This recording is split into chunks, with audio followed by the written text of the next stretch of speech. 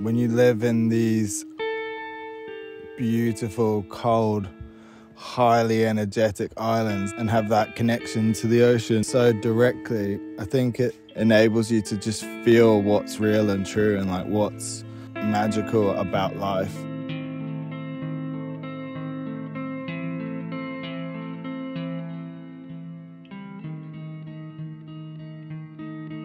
Never forget this connection to nature and not not to get lost in technology. Completely immerse ourselves in the true connection to nature.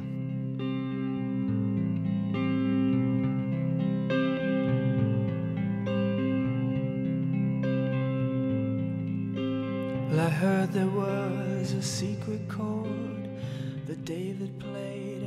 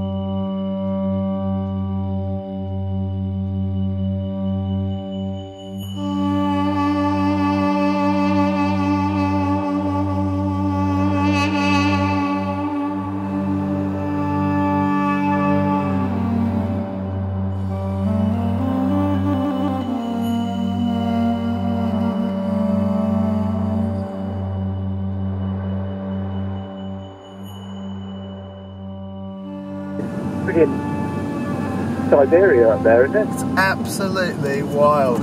I've not really been much like it. Proper wave that is. Really? It was pretty heavy. It was heavy and draining.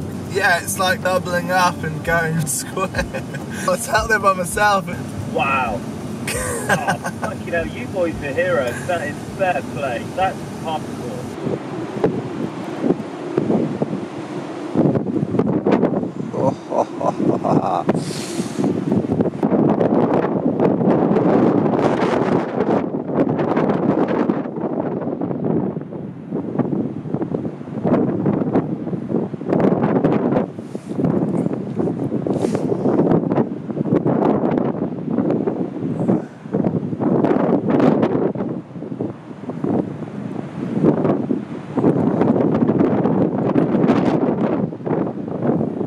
Jacob paddled out to swim, you know, swam out. It fogged up straight away, so we didn't get any footage really. But it's alright, we've got some more surfs. Just thinking, like, you can leave today and surf tomorrow. Really? Do it. I was just thinking that because it's got a little bit quiet at work as well. I don't know.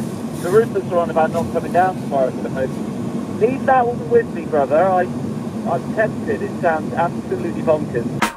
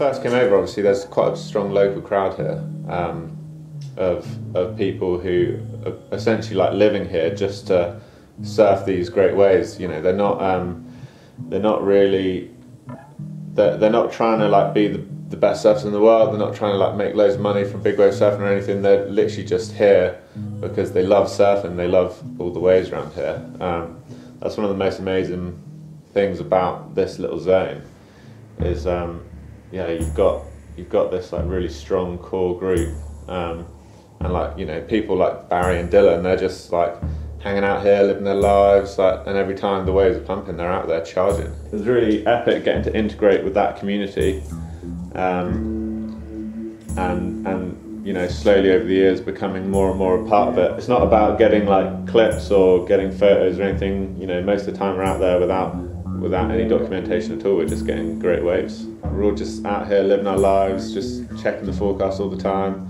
And then when the waves are good, we drop everything and head out. Constantly trying to achieve something because of external pressures. You know, you're just doing it for yourself, um, and you're just doing it because you're passionate about it. You're not. You don't have any ulterior motives. Um, it's a nice. It's a nice way to live. And it's funny, you do you do get obsessed over like one wave. Like I'm kind of like obsessed with Mully at the moment. Yeah. It's like every time it breaks, you want to be here. You can't like you can't imagine missing a swell. Like you just get so much FOMO.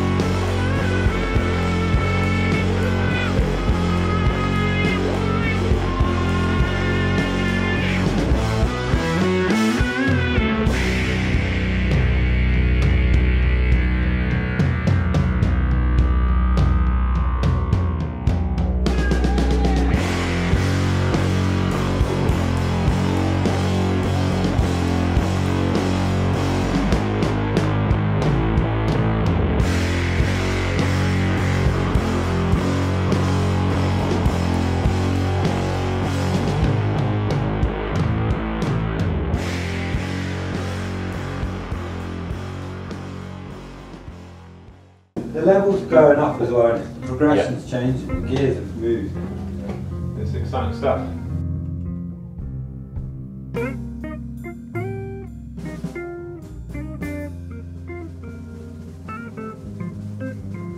You got like people like Noah and stuff who are just like, you know, moved their whole lives here and set up everything.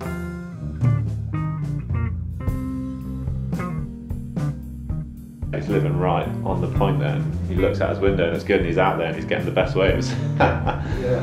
and that's what it takes. They almost dominate the lineup a little bit, but Yeah. they're, they're so good. They move around the lineup. They show you what's possible. Yeah. I've Well, the, the reason they dominate the lineup is because they put so much time in out there.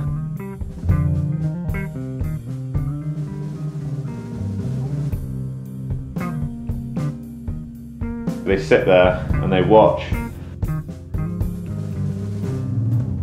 That you'll be out there paddling with them and they'll be letting waves pass, letting waves pass, and then suddenly they'll just turn and go on.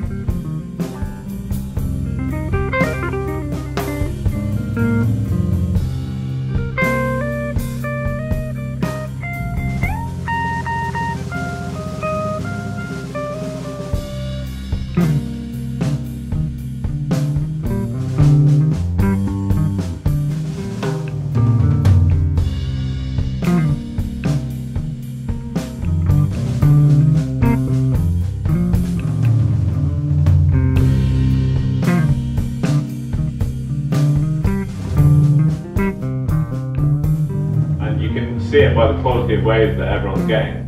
It's just going up and up every session. People are getting better and better barrels.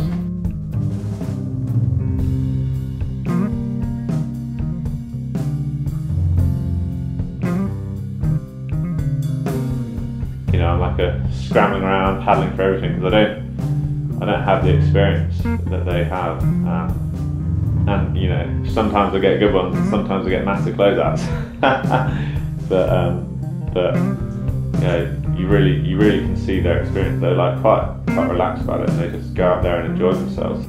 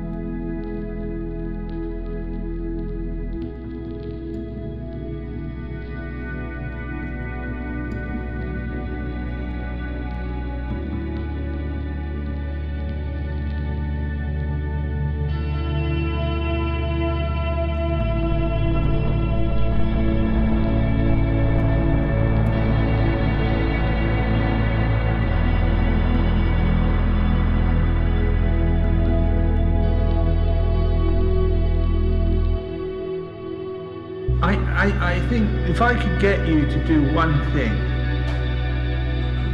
I would say when you get to the point that you really feel highly motivated to just towards keeping your virtue, then you'll, ex- you'll discover quite quickly just how extraordinary a life was meant to be be.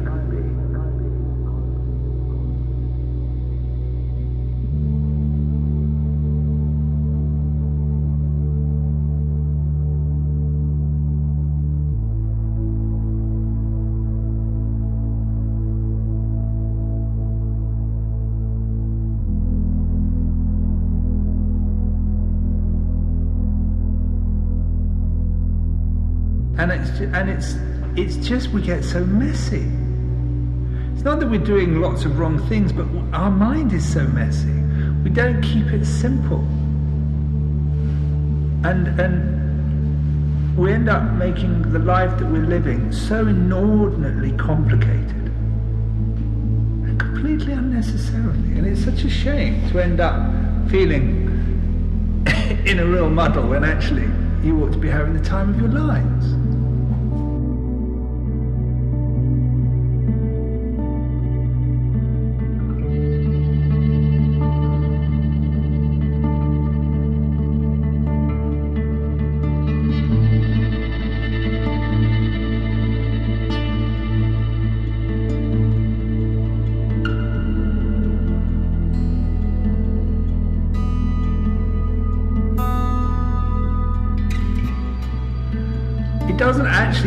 Very much to make the deepest part of us incredibly happy. You know, just to be here, just to appreciate, to appreciate being here.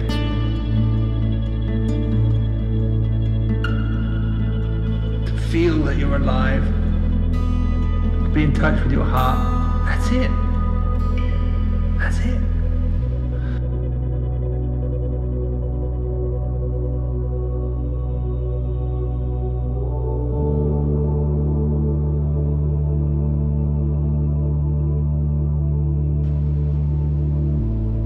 It takes mindfulness to come to a human life. And then above that, it takes mindfulness and virtue to come to a fortunate human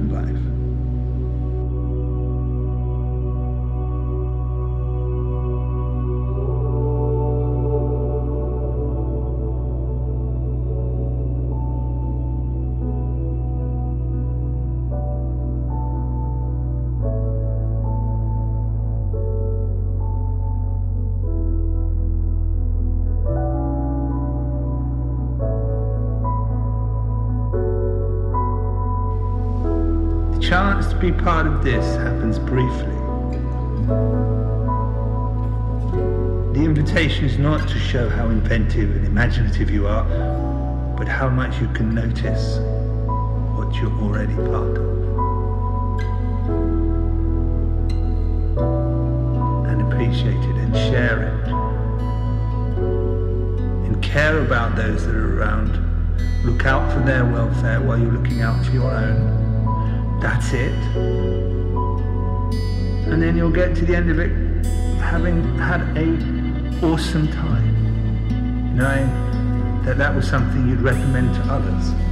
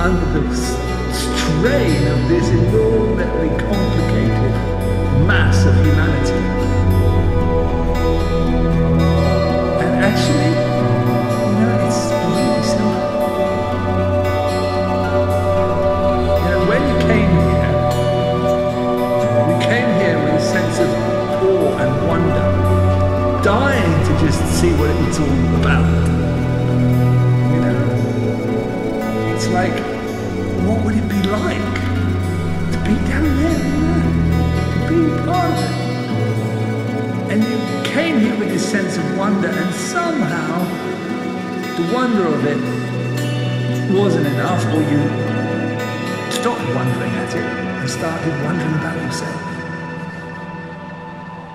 And in your wondering about yourself, you forgot what you came here for, what you came to be a part of.